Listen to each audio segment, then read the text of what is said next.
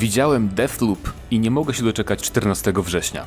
Na prezentacji, zamkniętej prezentacji dla mediów, przedstawiciele Arkane Studios pokazali nam około godziny gameplayu, niecałą godzinę gameplayu z tej produkcji i jest to gra, która jakby moje zainteresowanie wzbudziła od pierwszej zapowiedzi, no bo hej, to jest nowa gra Arkane Studios. Uwielbiam Dishonored, uwielbiam Preya nowego, więc e, jakby i tak brałbym w ciemno, natomiast to jest gra wyjątkowa na pewno jak na, jak na to studio, bo nie jest to taka typowa gra fabularna, ale z drugiej strony, i to jest chyba najważniejsze, mieliśmy okazję do zadawania pytań i twórcy bardzo, bardzo podkreślali, że Deathloop nie jest grą roguelike. Co jest dosyć istotne, bo wielu, wielu graczy zauważam, e, tak właśnie klasyfikuje Deathloop jako rogalika, natomiast ma on oczywiście pewne elementy, tak, gier roguelike, no bo loop, ten loop tytułowy, Deathloop, e, polega na tym, że po śmierci zaczynamy od początku, często w tym samym miejscu, ale to nie jest właśnie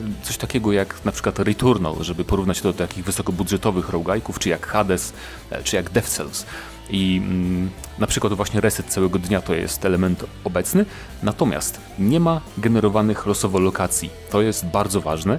W dowolnym momencie możemy pójść tam, gdzie chcemy, a nie za każdym razem przedzierać się tą samą ścieżką, pokonywać tych samych wrogów, tego samego bossa itd., tak itd. Tak Więc to jest dosyć istotny element.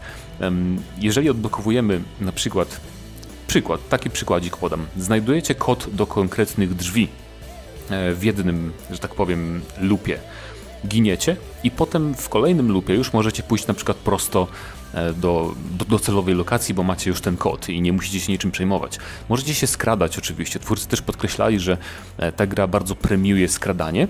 Szczególnie na początku, kiedy bohater jest jeszcze taki trochę um, wrażliwy na obrażenia, zanim go rozwiniemy, ale z drugiej strony potem można grać jak Rambo. Właśnie w tej prezentacji twórcy pokazywali um, różne style rozgrywki, i spokojnie, momentami ta gra przypominała, nie wiem, strzelanki, takie typowe strzelanki w stylu Duma.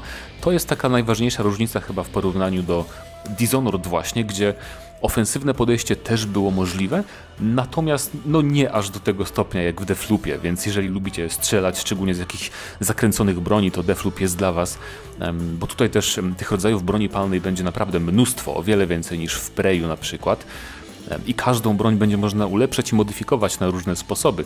Przykładowo w pewnym momencie twórcy używali w, te, w tej rozgrywce normalnego jakby rewolweru, ale dodali do niego taki mod, który zupełnie wyciszał tę broń, więc e, nie ma tu realizmu, jeżeli chodzi o ekwipunek, a zresztą mamy tu jakieś w ogóle magiczne moce też, więc czemu w ogóle mówię o realizmie.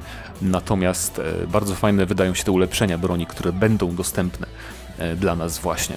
I ogólnie jeżeli nie wiecie, głównym bohaterem jest Cole, który właśnie zorientuje się w pewnym momencie, że jest utknął w takiej pętli czasowej i musi ją przerwać. To jest jej główny cel, a żeby to zrobić, musimy wyeliminować e, bodajże 8 głównych celów.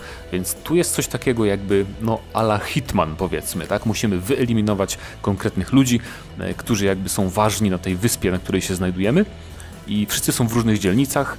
Ostatecznym celem jest to, żeby wyeliminować ich wszystkich za jednym, że tak powiem, w jednym lupie. I to też jest ważne, że to nie są normalne walki z bossami, tak? To też jest taki, to też jest coś, co sprawia, że ta gra nie jest roguelike'iem, bo tu nie, nie będzie czegoś takiego, że mamy dużą walkę z bossem, gdzie jest pasek zdrowia i jest bardzo ciężko, e, bo tak jak w Dishonored, tak? Jeżeli kogoś mamy zlikwidować, to czasem wystarczy po prostu jeden strzał albo zajście go od tyłu i odpowiednie użycie ostrza, więc pod tym względem to też nie jest rogalik. W Defloopie mamy mnóstwo ścieżek prowadzących do celu co też nie zawsze jest jakby domeną rogue'ike'ów, prawda? Bo tutaj e, możemy, w zależności od tego jakie skille mamy wyposażone, możemy przejść prosto, możemy iść pod ziemiami, możemy się gdzieś włamać, możemy skakać po dachach. E, jest tych przejść naprawdę, naprawdę bardzo wiele. E, więc i ogólnie mapa jest bardzo duża też, więc to jest takie e, Dishonored, ta eksploracja z Dishonored podniesiona do potęgi nawet powiedziałbym, to mi się bardzo podoba. E, mamy w ogóle też różne pory dnia, bo dzień i noc to są inne jakby instancje. E, czasem się zdarzy tak, że nawet często się zdarza tak, że bossowie są w innych miejscach e, za dnia i w nocy.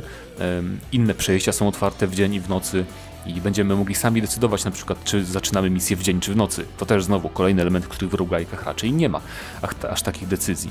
I też po pokonaniu każdego etapu, że tak powiem, E, mamy save'a, tak? Więc to też nie jest tak, że zaczynamy zupełnie totalnie od zera, aczkolwiek tracimy bronię tracimy jakieś tam super gadżety, natomiast y, dużo rzeczy też możemy sobie szybko bardzo odzyskać w takiej bazie powiedzmy pierwszej, jakieś gadżety czy jakieś ulepszenia, y, więc to nie jest tak, że tracimy zupełnie wszyściutko, y, ale zaczynamy zawsze bez broni, tak? To jest taki element, który twórcy zaznaczyli.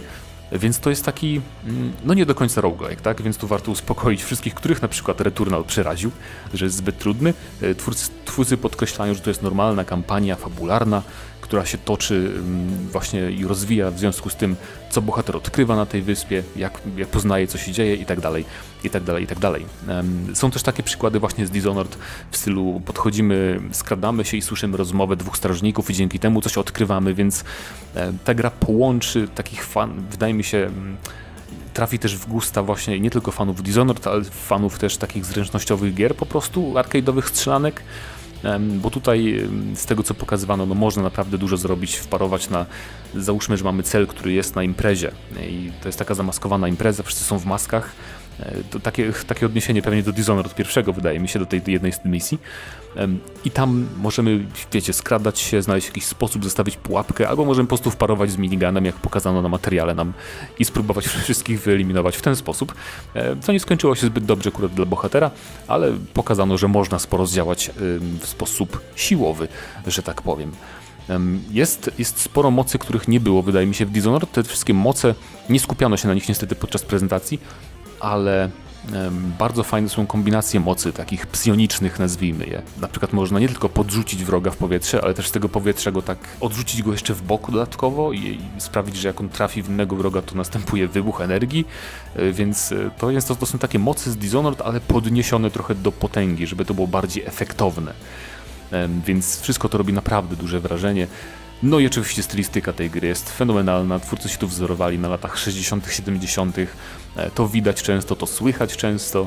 E, jest to wizualnie naprawdę bardzo, bardzo fajne. Tutaj jakby Arkane Studios kontynuuje ten trend właśnie zachwycania nas warstwą wizualno-artystyczną swoich gier. Mi to, co przygotowali, naprawdę bardzo się podoba i trafia w moje gusta e, bardzo mocno. E, Deathloop to też jest produkcja, która wprowadza bardzo ciekawy element takiej e, asymetrycznego, asymetrycznej gry sieciowej pod, pod postacią e, Julian.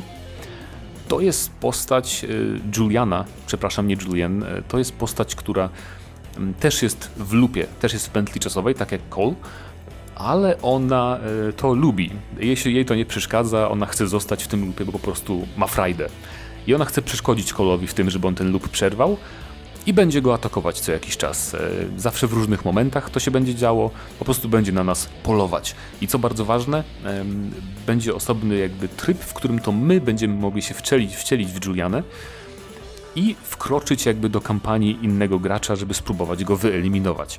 E, I to jest bardzo fajny element. Oczywiście inwazje tego typu chciałoby się powiedzieć, że to jest coś w stylu Dark Soulsów, no bo jednak, wiecie, wkraczamy w grę innego użytkownika i próbujemy mu przeszkodzić, tak?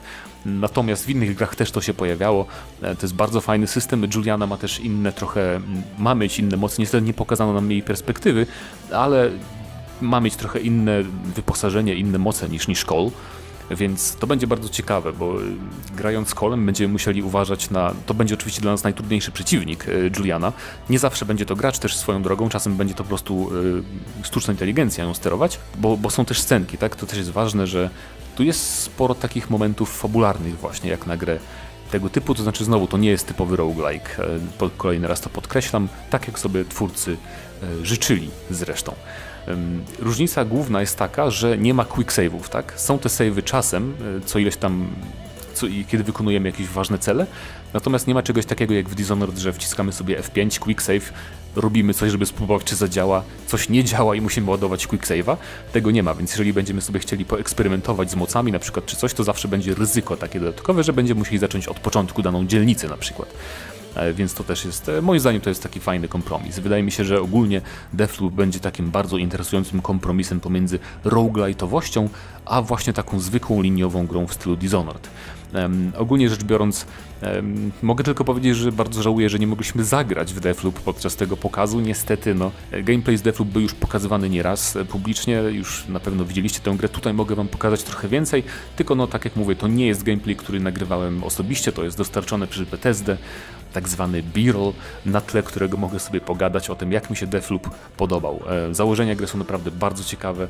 To jest e, kolejna gra w tym roku obok Returnala, wydaje mi się, która jakby robi coś nowego, jeżeli chodzi o gry wysokobudżetowe, bo takie pomysły, pętla czasu i tak dalej, takie właśnie arcade'owość, roguelike'owość, to już było w różnych grach, natomiast niezbyt często w grach e, mainstreamowych AAA mamy takie rzeczy, takie eksperymenty z gameplayem.